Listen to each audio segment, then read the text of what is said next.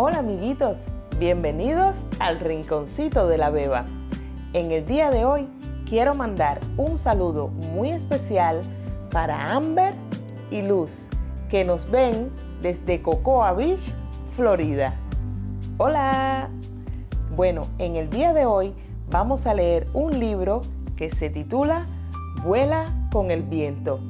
Y sin más, comencemos.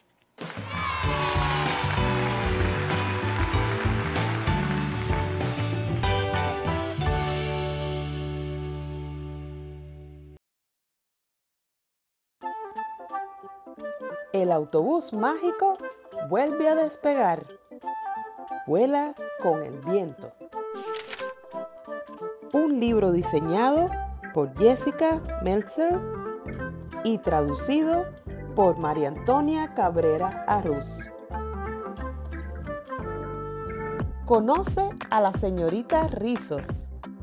La señorita Rizos no es una maestra de ciencias común y corriente. Lleva su clase de excursión a lugares increíbles. Viajan en un autobús mágico que hace piruetas y da volteretas y puede ir a cualquier parte. ¿A dónde los llevará hoy? Los alumnos de la señorita Rizos ensayan la obra de teatro Los Tres Cerditos.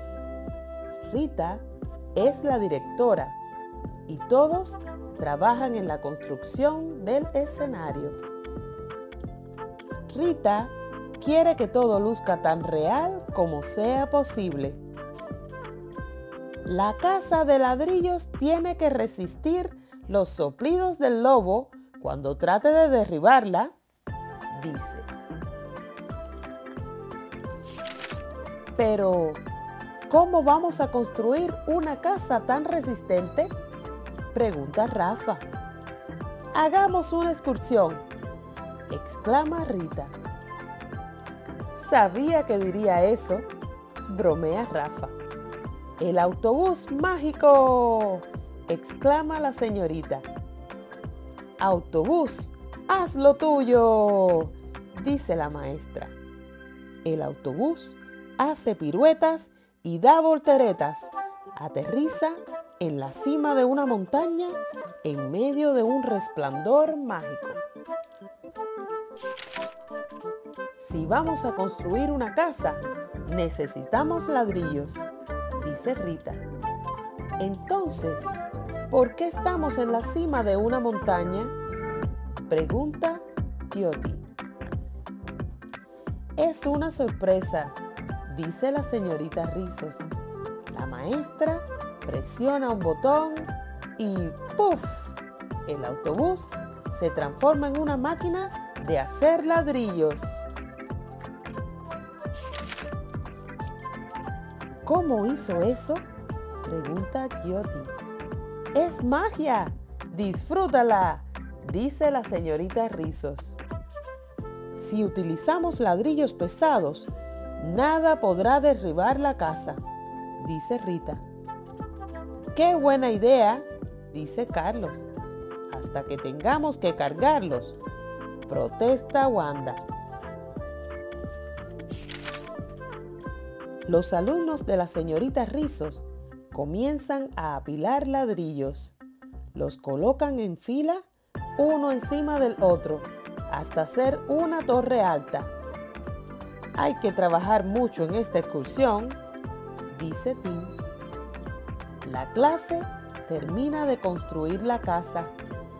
¡Wahoo! exclaman todos.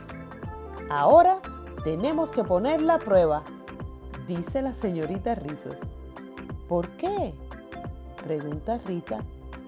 Esta casa es súper resistente. Según mi investigación, los ingenieros no se conforman con que los edificios parezcan fuertes. Los ponen a prueba para asegurarse de que lo son, dice Dorotea. Entonces, la señorita Rizos enciende el poderoso ventilador del autobús. El fuerte viento que produce el ventilador casi se lleva a los niños, también derriba la casa. ¡Ay no! Está lloviendo ladrillos, dice Wanda. Eso fue increíble, dice la señorita Rizos. ¿Cómo? Eso fue un desastre, dice Arnoldo. Me parece que la señorita Rizos quiso decir que podemos aprender de nuestros errores, dice George. Empecemos de nuevo, exclama Rita. Tenemos que pegar los ladrillos unos con otros. Tengo justo lo que necesitamos, dice la señorita Rizos. El autobús produce un material pegajoso que parece pegamento. ¿Goma? Dicen los niños. ¡Es cemento mágico! Dice la señorita Rizos. Los chicos toman un ladrillo y lo cubren con cemento. Después le colocan otro ladrillo encima y continúan pegando ladrillos hasta que terminan de construir la casa. Están extenuados. Estoy tan cansado que me duelen hasta los cordones de los zapatos, bromea Rafa. La segunda casa debe ser puesta a prueba. Esta vez, la señorita Rizos les da a los chicos gafas especiales para ver el viento y enciende el ventilador. ¡Ay no! La nueva casa también se cae.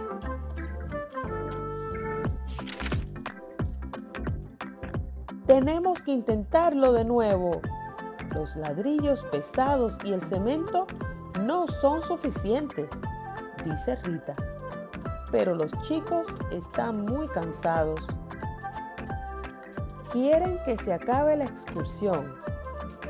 Todos suben al autobús para volver a casa. El autobús comienza a elevarse, pero tienen que quedarse a ayudar protesta Rita. Trata de presionar el botón de apagar para evitar que se marchen, pero se equivoca. De repente, Rita y la señorita Rizos se encuentran solas en el autobús. El botón que presionó Rita convirtió en árboles a los demás chicos y al autobús. Bueno, ¿tú querías que se quedaran? dice la señorita Rizos. Pero no quería que se convirtieran en árboles, dice Rita llorando. Mira, viene una tormenta. El viento tumbará los árboles, igual que derribó nuestra casa, exclama Rita. Tenemos que ayudar a nuestros amigos. Estarán bien, dice la señorita Rizos, y podremos ver el viento en acción. El viento sopla y sopla, pero los árboles se mantienen en pie. Pero, ¿cómo es que los árboles son más fuertes que una casa de ladrillos? Pregunta Rita. Investiguemos, dice la señorita Rizos. Rita se pone las gafas especiales. Veo que el viento se desvía para rodear los troncos, dice Rita. Oye, eso hace cosquillas, dice Arnoldo riéndose. Tenemos raíces debajo de la tierra. Ellas nos sostienen, dice Dorotea. Y nos balanceamos con el viento en lugar de caernos, dice Arnoldo. ¡Súper! El viento no nos puede tumbar, dice Dorotea. Después de la tormenta, los chicos regresan a su estado normal. Tienen muchas ideas sobre cómo hacer una casa tan resistente como un árbol. Debemos tener cimientos que actúen como raíces, dice Tim, y superficies curvas como el tronco de los árboles, dice Dorotea.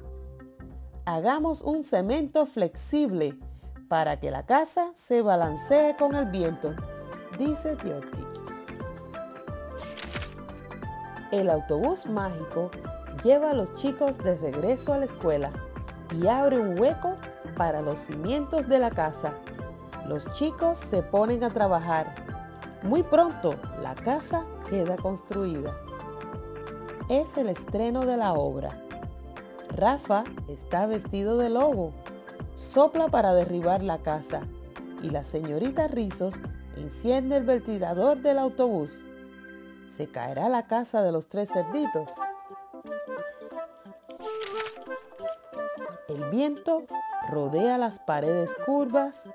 Los cimientos sostienen la casa como si fueran raíces. El nuevo cemento permite que se balancee. La casa no se cae. Después, los chicos leen una crítica de la obra. Dice, no vean la obra, da miedo y hay mucho viento. ¿Quién vendrá a verla con ese comentario? Pregunta Arnoldo. Todo el mundo, exclama Rita. La crítica ha despertado interés por la obra y se han vendido todas las entradas. ¡Lo logramos! ¡Wahoo! grita la clase. Y colorín colorado, este cuento ha terminado.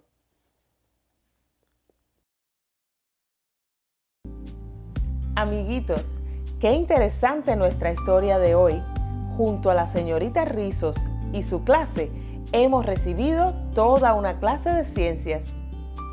Aquí les presento algunas palabras que se mencionaron en la historia y quiero que aprendan su significado. Número 1. Balancear. Moverse de un lado a otro. Número 2. Cemento. Pasta espesa que se utiliza para pegar piedras o ladrillos. Número 3. Cimientos. Estructura de piedra o cemento que sostiene un edificio por debajo. Número 4. Flexible, que puede doblarse. Y número 5. Escenario, mueble decorado o fondo de una obra de teatro. Amiguito, si te ha gustado esta historia, no olvides suscribirte. Regálame tu like. Nos vemos. Hasta pronto.